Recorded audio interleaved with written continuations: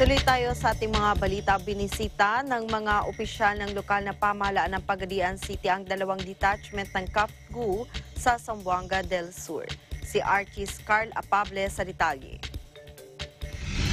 Binisita ni na City Councilor Sam Tayraco, 53rd Infantry Battalion Commander Lieutenant Colonel Joar Herrera at City Administrator Vince Kipot ang dalawang detachments ng mga KAFGO sa Barangay Lourdes at Barangay Lesan Valley, sakop ng Pagadian City, lalawigan ng Zamboanga del Sur.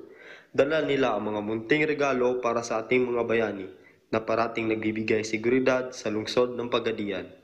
Dala nila mga food packs, face masks, face shields, water gallons at mga pagkain na handog ng gobyerno para sa ating mga bayani.